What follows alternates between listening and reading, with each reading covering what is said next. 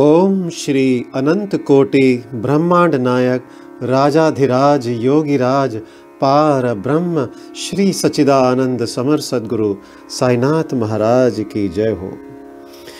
हे प्रिय भक्तगणों, आज श्री साई सचरित्र का अध्याय 21 का पठन होगा। हे गुरुवर, हे साईं, सभी बच्चों पर अपना आशीर्वाद देकर फलीभूत करें कि यह अध्याय सभी के चित्त में उतरे, सभी को इसका लाभ हो। ओम साई राम। आइए, शुरू करते हैं अध्याय 21 जिसमें पहले है श्री वी एच ठाकुर, दूसरा श्री अनंतराव पाटड़कर, और तीसरा पंढरपुर के वकील की कथाएँ। इस अध्याय में हेमाड पंत ने श्री विनायक हरिश्चंद्र ठाकुर, बी ए श्री अनंतराव पाटड़कर पुणे निवासी तथा पंढरपुर के एक वकील की कथाओं का वर्णन किया है। ये सब कथाएँ अति मनोरंजक हैं। यदि इनका सारांश मनन पूर्वक ग्रहण कर इन्हें आचरण में लाया जाए तो आध्यात्मिक पथ पर पाठकगण अवश्य अग्रसर होंगे। आइए प्रारंभ करते हैं। यह एक साधारण सा नियम है कि गत जन्मों के शुभ कर्मों के फलस्वरूप ही हमें संतों का सानिध्य और उनकी कृपा प्राप्त होती है। उदाहरणार्थ हिमाट पंत स्वयं अपनी घटना प्रस्तुत करते हैं। वे अनेक वर्षों तक बंबई के उपनगर, बांद्रा के स्थानीय न्यायाधीश रहे। पीर मौलाना नामक एक मुस्लिम संत भी वहीं निवास करते थे। उनके दर्शनार्थ अनेक हिंदू, पारसी और अन्य धर्मावलंबी वहाँ जाया करते थे। उनके मुजावर यानी पुजारी ने हिमाट पंत से भी उनका दर्शन करने के लिए बहुत आग्रह किया। परंतु किसी न किसी कारणवश उनकी भेंट उनसे न हो सकी। अनेक वर्षों के उपरांत जब उनका शुभ काल आया, तब वे शिरडी पहुँचे और बाबा के दरबार में जाकर स्थायी रूप से सम्मिलित हो गए। भाग्यहीनों को संत समागम की प्राप्ति कैसे हो सकती है? केवल वे ही सौभाग्यशाली हैं जिन्हें ऐसा अवसर प्राप्त हो। अब आगे पढ़ते हैं संतों द्वारा लोक शिक्षा। संतों द्वारा लोक शिक्षा का कार्य चिरकाल से ही इस विश्व में संपादित होता आया है। अनेकों संत भिन्न भिन्न स्थानों पर किसी निश्चित उद्देश्य की पूर्ति के लिए स्वयं प्रकट होते हैं। यद्यपि उनका कार्यस्थल भिन्न होता है, परंतु वे सब पूर्णता एक ही हैं। वे सब उस सर्वशक्तिमान परमेश्वर की संचालन शक्ति के अंतर्गत एक ही लहर में कार्य करते हैं। उन्हें प्रत्येक के कार्य का परस्पर ज्ञान रहता है और आवश्यकतानुसार वे परस्पर पूर्ति भी करते हैं, जो निम्नलिखित घटना द्वारा स्पष्ट है। Shri Thakur. Shri V H Thakur, B A revenue विभाग में एक कर्मचारी थे। वे एक समय भूमिमापक दल के साथ कार्य करते हुए बैलगांव के समीप बड़गांव नामक गाँव में पहुँचे। वहाँ उन्होंने एक कानड़ी संत पुरुष अप्पा के दर्शन कर उनकी चरण वंदना की। वे अपने भक्तों को निश्चल दास कृत विचार सागर नामक ग्रंथ जो वेदांत के विषय में है का भावार्थ समझा रहे थे। जब श्री ठाकुर उनसे विदाई लेने लगे तो उन्होंने कहा, तुम्हें इस ग्रंथ का अध्ययन अवश्य करना चाहिए और ऐसा करने से तुम्हारी इच्छाएँ पूर्ण हो जाएँगी। तथा जब कालांतर में तुम उत्तर दिशा में जाओगे तो सौभाग्यवश तुम्हारी एक महान संत से भेंट होगी, जो मार्ग प्रदर्शन कर तुम्हारे हृदय को शांति और सुख प्रदान करेंगे। बाद में उनका स्थानांतरण जून्नर को हो गया, जहाँ की नाड़ेघाट पार करके जाना पड़ता था। यह घाट अधिक गहरा और पार करने में कठिन था, इसलिए उन्हें भैंसे की सवारी कर घाट पार करना पड़ा, जो उन्हें अधिक असुविधाजनक तथा कष्टकर प्रतीत हुआ। इसके पश्चात उनका स्थानांतरण कल्याण में एक उच्च पद पर हो गया और वहाँ उनका नाना साहेब चांदोरकर से परिचय हुआ। उनके द्वारा उन्हें श्री साईं बाबा के संबंध में बहुत कुछ ज्ञात हुआ और उनके दर्शन की तीव्र उत्कंठा हुई। दूसरे दिन ही नाना साहेब शिरडी के लिए प्रस्थान कर रहे थे। उन्होंने श्री ठाकुर से भी अपने साथ चलने का आग्रह किया। ठाणे के दीवानी न्यायालय में एक मुकदमे के संबंध में उनकी उपस्थिति आवश्यक होने के कारण वे उनके साथ ना जा सके। इस कारण नाना साहेब अकेले ही रवाना हो गए। ठाणे पहुँचने पर मुकदमे की तारीख आगे के लिए बढ़ गई। इसलिए उन्हें नाना साहेब का साथ ना देने पर पश्चाताप हुआ। फिर वे शिरडी पहुँचे, तब वहाँ उन्हें ज्ञात हुआ कि नाना साहेब पिछले दिनों ही यहाँ से चले गए हैं। वे अपने कुछ मित्रों के साथ जो उन्हें वहीं मिल गए थे, श्री साईं बाबा के दर्शन को गए। उन्होंने बाबा के दर्शन किए और उनके चरण कमलों की आराधना कर अत्यंत हर्षित हुए। उन्हें रोमांच हो आया और उनकी आँखों से अश्रुधाराएँ प्रवाहित होने लगी। त्रिकालदर्शी बाबा ने उनसे कहा, इस स्थान का मार्ग इतना सुगम नहीं जितना कि कानड़ी संत अप्पा के उपदेश या नाड़े घाट पर भैंसे की सवारी थी। आध्यात्मिक पथ पर चलने के लिए तुम्हें घोर परिश्रम करना पड़ेगा, क्योंकि वह अत्यंत कठिन पथ है। जब श्री ठाकुर ने सारगर्भित शब्द सुने, जिनका अर्थ उनके अतिरिक्त और कोई ना जानता था तो उनके हर्ष का पारावार ना रहा और उन्हें कानड़ी संत के वचनों की स्मृति हो आई। तब उन्होंने दोनों हाथ जोड़कर बाबा के चरणों पर अपना मस्तक रखा और उनसे प्रार्थना की, प्रभु, मुझ पर कृपा करो और इस अनाथ को अपने चरण कमलों की शीतल छाया में स्थान दो। तब बाबा बोले, जो कुछ अप्पा ने कहा, वह सत्य था। उसका अभ्यास कर, उसके अनुसार ही तुम्हें आचरण करना चाहिए। व्यर्थ में बैठने से कोई लाभ ना होगा। जो कुछ तुम पठन करते हो, उसको आचरण में भी लाओ। अन्यथा उसका उपयोग ही क्या? गुरु कृपा के बिना ग्रंथावलोकन तथा आत्मानुभूति निरर्थक ही है। श्री ठाकुर ने अभी तक केवल विचार सागर ग्रंथ में सैद्धांतिक प्रकरण ही पढ़ा था, परंतु उसकी प्रत्यक्ष व्यवहार प्रणाली तो उन्हें शिरडी में ही ज्ञात हुई। एक दूसरी कथा भी इस सत्य का और अधिक सशक्त प्रमाण है।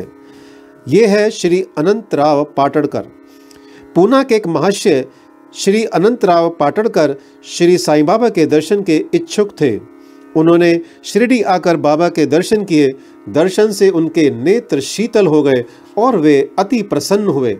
उन्होंने बाबा के श्री चरण छुए और यथा योग्य पूजन करने के उपरांत बोले, मैंने बहुत कुछ पठन किया, वेद, वेदांत और उपनिषदों का भी अध्ययन किया तथा अन्य पुराण भी श्रवण किए, फिर भी मुझे शांति ना मिल सकी।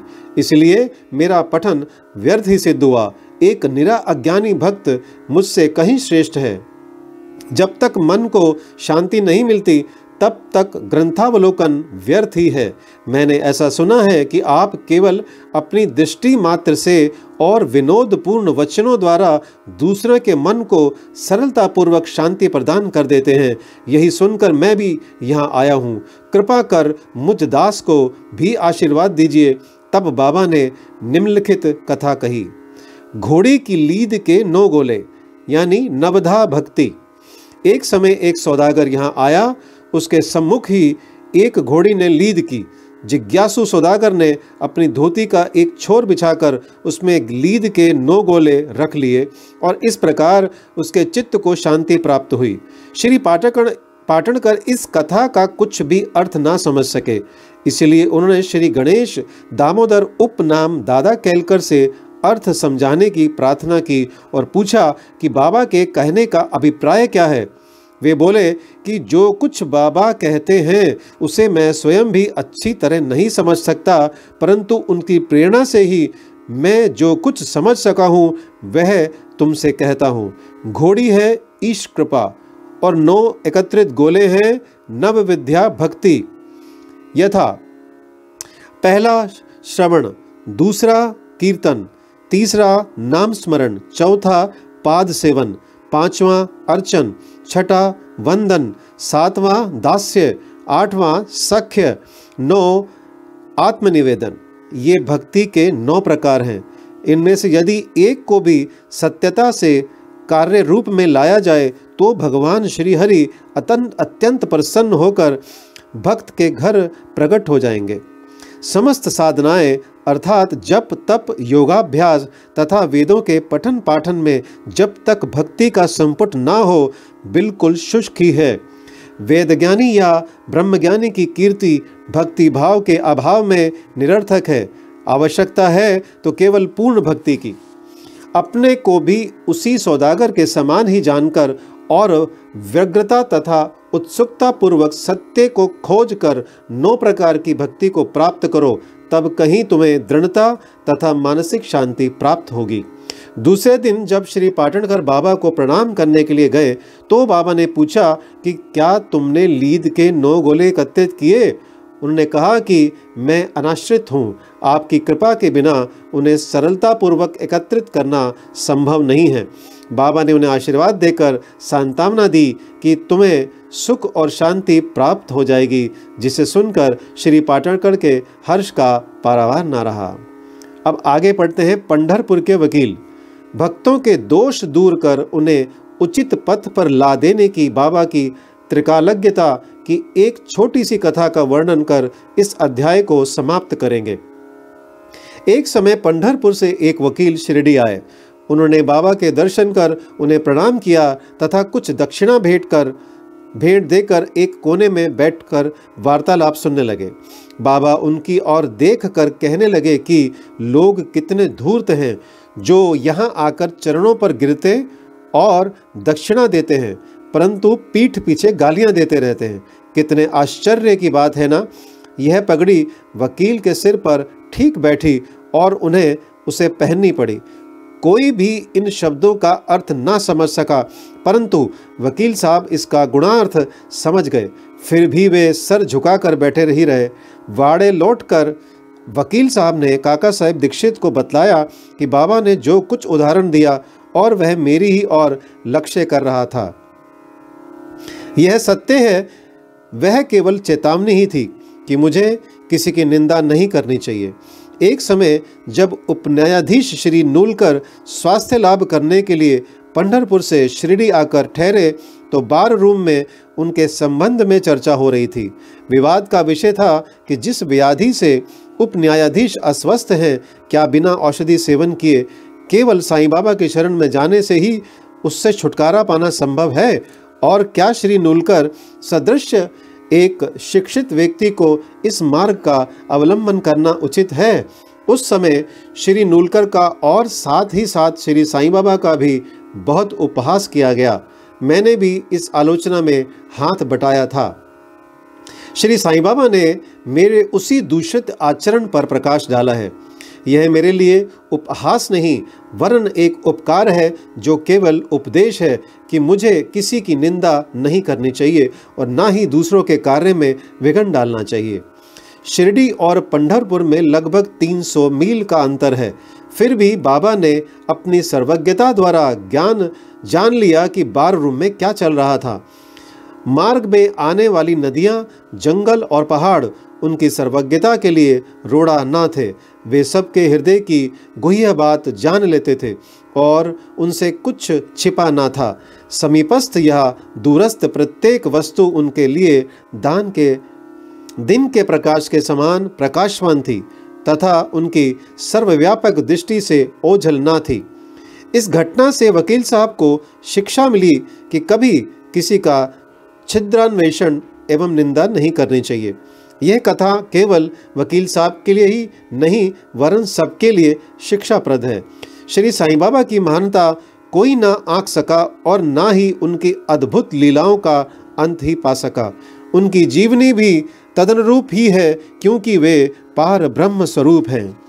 श्री सद्गुरु साईनाथ मस्तु शुभम भवतु। ओम साई राम